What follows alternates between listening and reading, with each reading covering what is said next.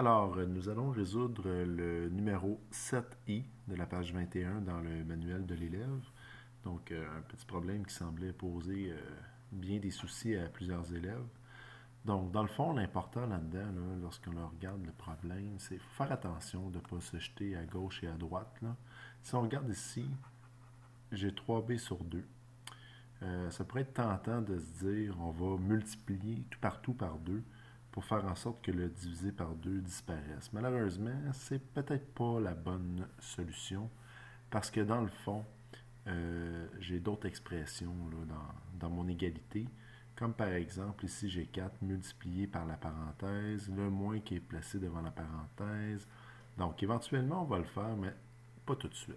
Ce qu'on va plutôt faire, ce qu'il faut plutôt regarder, si je regarde ici, j'ai le moins 4 qui est placé devant la parenthèse. Donc, la première étape, ça consisterait à effectuer la distributivité. Donc, on va distribuer le moins 4 à l'intérieur de la parenthèse. Donc, on va retrouver 3b sur 2.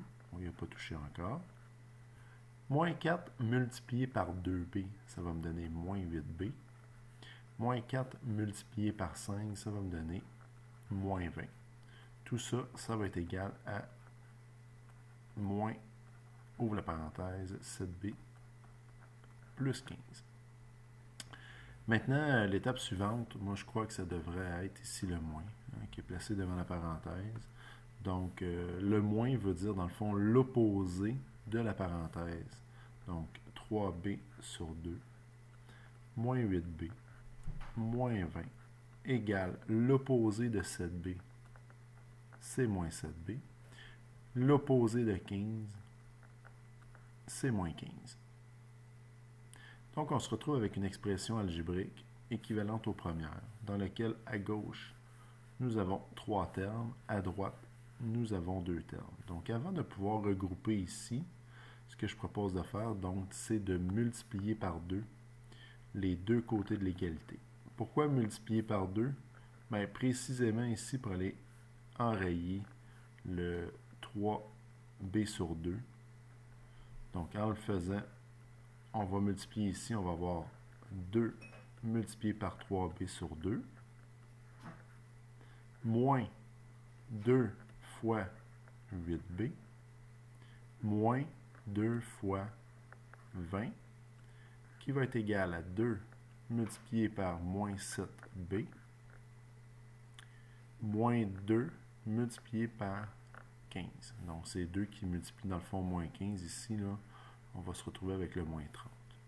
Donc, ici, les deux vont disparaître. Il va me rester 3b moins 16b moins 40 qui va être égal à moins 14b moins 30. À gauche, on peut regrouper le 3b et le 16b. On va obtenir moins 13b, moins 40, qui va être égal à moins 14b, moins 30. On va ajouter 14b aux deux côtés de l'égalité, donc plus 14b ici, plus 14b ici, pour faire en sorte qu'à droite, il n'y en ait plus. À gauche, ben, moins 13b plus 14b, ça va me donner b. On va ajouter 40 ici. On va ajouter 40 là. De sorte qu'à gauche, il n'y aura plus de terme constant. Puis à droite, 40 moins 30. Il va me rester b. Qui est égal à 10.